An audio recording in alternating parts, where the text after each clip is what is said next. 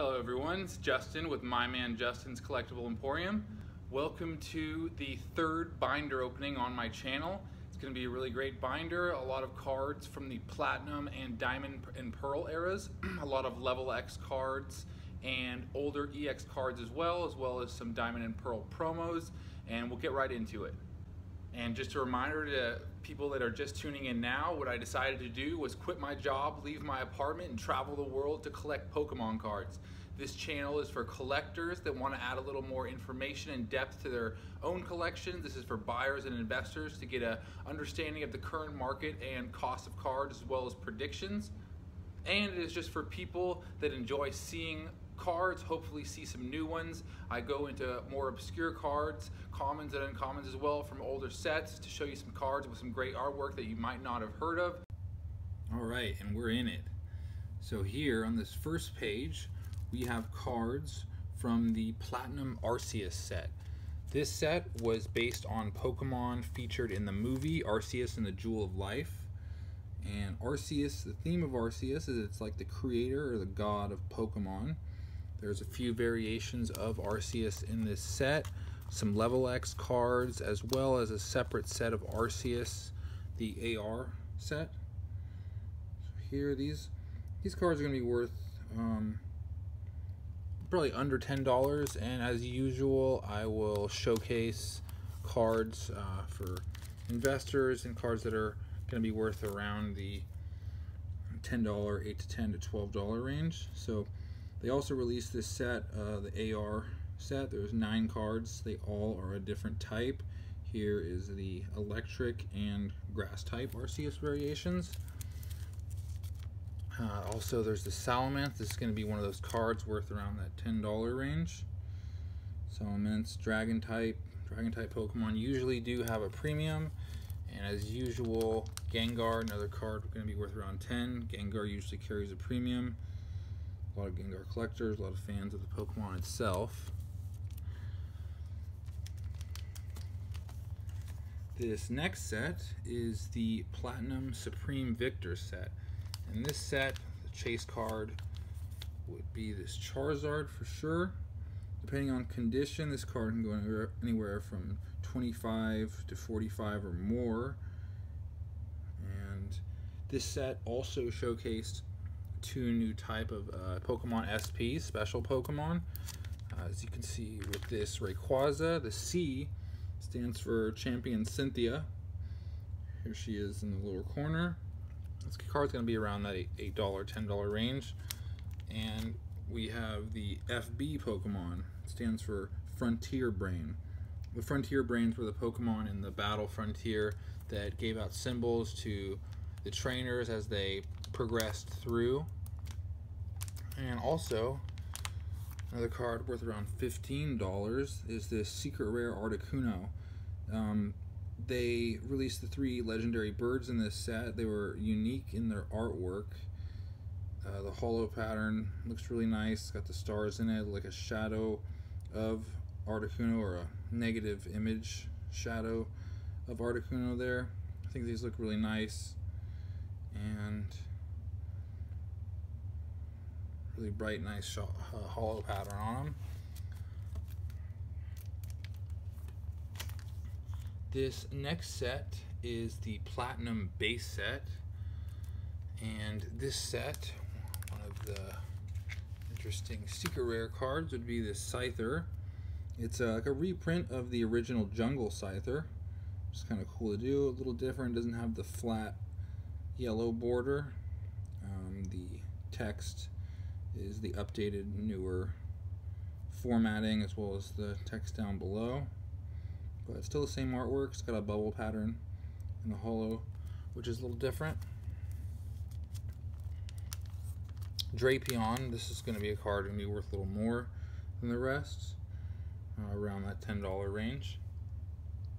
It also showcased Giratina in its original and altered forms, and Giratina's theme was uh, a Pokemon that traveled between dimensions, while Dialga is a Pokemon that travels between time.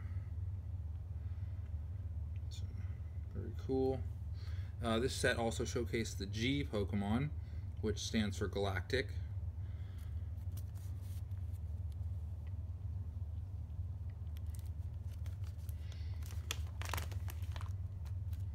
This next set is the Diamond and Pearl Legend Awakens set. Uh, the definitely have these cards and it is very nice. Uxie, Azelf, and Mesprit were are the more valuable cards in this set. They can be worth anywhere from 15 to $35. They also printed the World Championship promo cards, which are always worth less. They don't have the same holo, or they don't really have holo at all. And yeah, these are going to be worth around that $25 range, depending on condition. Very nice cards. Also, this set, the pre-release card is Buck's Training. It was the first supporter card uh, to be a, pre a pre-release. And this next set here is the Platinum Rising Rivals set. So now this card, I was mentioning the World Championship promos, is what they look like. They always have some Japanese characters and they don't have the holo.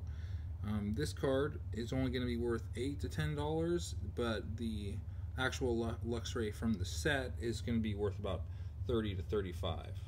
So this set was also the set to include new SP Pokemon, special Pokemon.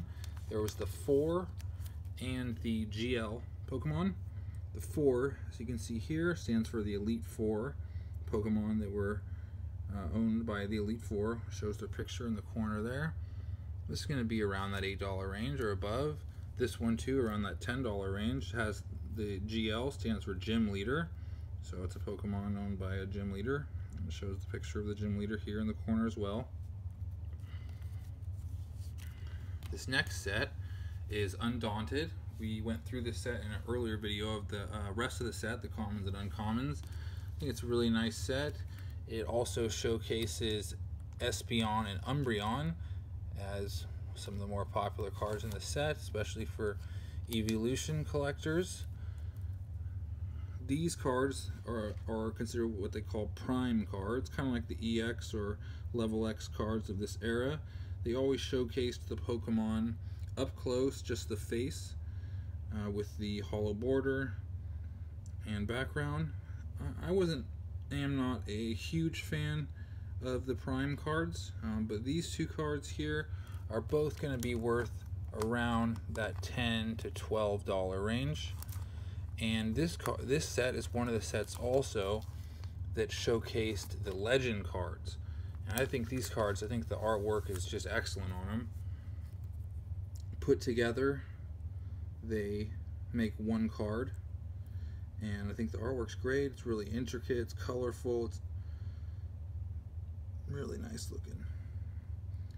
And since these sets that showcase these, I don't know, I don't think there's any other sets um, beside the other ones in this era that showcased cards where you put two together to make one, but I think it was a really cool idea.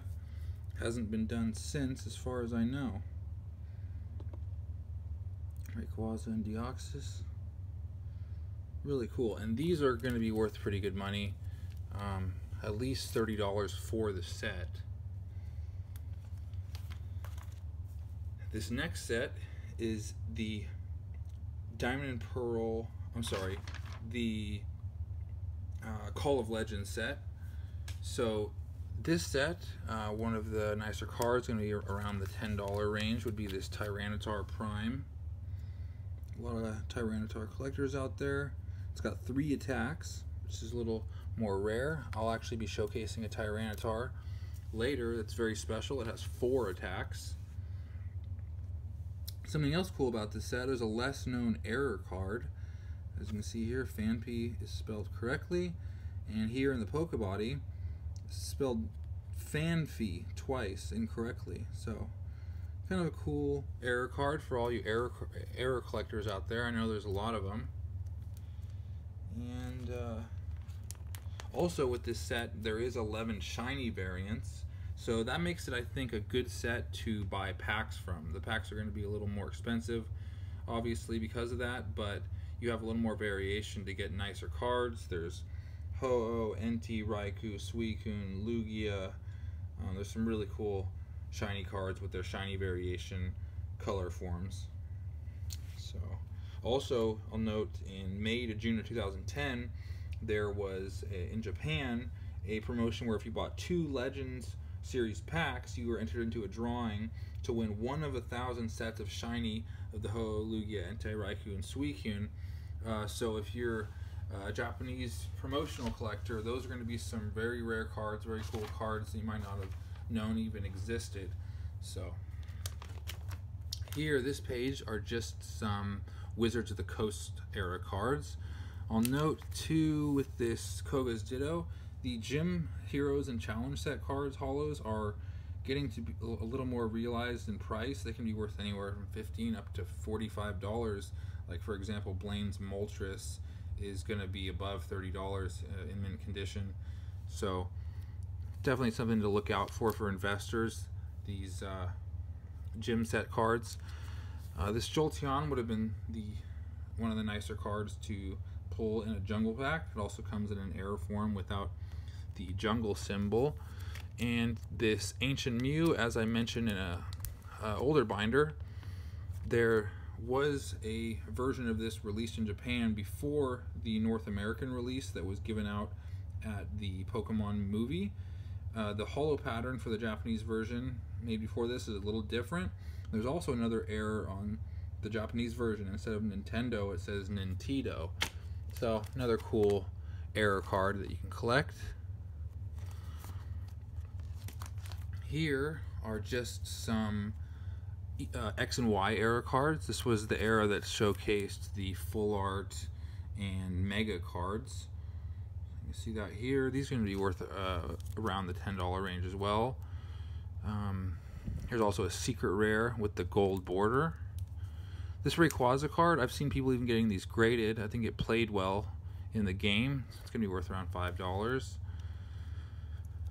Uh, they also showcased in this set the full art textured trainer cards. There's Lysandre's Trump card.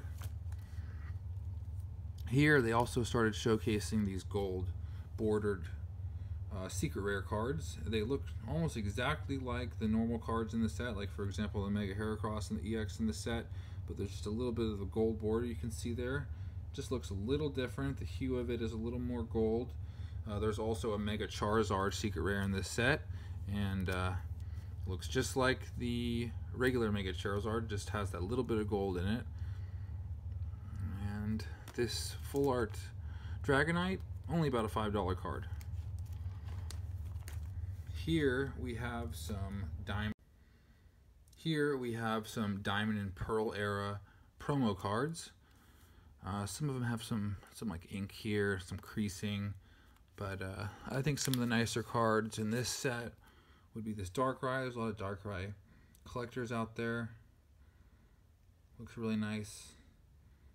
The level X cards look really nice. They they're they um they just haven't been really realized in their price yet. Pokemon wasn't especially popular. These sets aren't especially popular. There's not a whole bunch of really special cards in them, with the exception of maybe Call of Legends and the the two card Legend uh, cards. Uh, this Charizard, this is gonna be about a $15 card though, right here. Promo Charizard G level X. Here, there's some nice cards here. This Mew, this is going to be about a $30 card. In this condition, in better condition, it could be worth up to $60. Uh, a lot of Mew collectors, Mew's card that takes a premium, especially these older EX cards are getting also uh, more and more valuable. They're another card that is being more realized. More collectors are being um, aware of them, and they like the, the artwork on these old EXs, uh, as do I. Here, this is an interesting card. This is a card that was given out during the Japanese screening of the movie Arceus to a Conquering Space-Time. Uh, it's got that speckled holo pattern on it. They were given out in random card packs. Uh, there's three variants of this Pichu and a total of a 22 card set. And they showcased the M uh, SP Pokemon, which is movie Pokemon. This Raikou is something to look out for. It is a card, even just a normal EX, it's going to be worth at least $10. I think it's a card that also played well. these three, this is a set of Heart Gold, Soul Silver promo cards. It's the three uh, starter evolutions for that set Typhlosion, Feraligatr and Meganium. There's a Charizard EX. This is only a maybe six or seven, eight dollar card. It's one of the le less expensive Charizard cards. This Electivire is going to be uh, in that ten dollar range. Level X card. So yeah, the, the, the level X cards are consistently uh, lower priced than say the older EX cards. They, they, they just haven't really got to the point where they're extremely sought after yet, but that might change in the future. This page, we've got some pop promos. This is a pop series um, 4 Mew and a pop series 2 Suicune. They're only worth a few dollars each, especially in this condition. But I will note that the Pop Series 5 pack is going to be the pack that has the Gold Star Espeon and Umbreon. And in PSA 10 condition, those are going to be at least $5,000 cards. So, and remember with the Pop Series packs, you only get two cards in them. Uh, this card I've seen people get graded a lot. Uh, ungraded in this uh, decent condition, it's going to be worth around 50, 10 $15. In the higher grades, it's actually uh, going for around 50 and 60. This last page, these are Pokemon Rumble promo cards. So these are um, actually fairly valuable. Um, they were released with the WiiWare game, Pokemon Rumble. There's 16 cards in this set, having the Pokemon Rumble stamp holographic. And they actually can be worth um, if in mint condition, this Mewtwo's got a bit of a creasing and dent right here, maybe worth even with that 10 to 15 dollars. Whereas this Mew in a little better condition is maybe worth above 20. In mint condition, these cards can be very valuable. They were likely uh, not as widely released, so there's probably less of them available, which makes them a little more valuable. And of course, Mewtwo and Mew being cards that carry a premium by themselves. So, all right, that gets us through this binder, binder number three.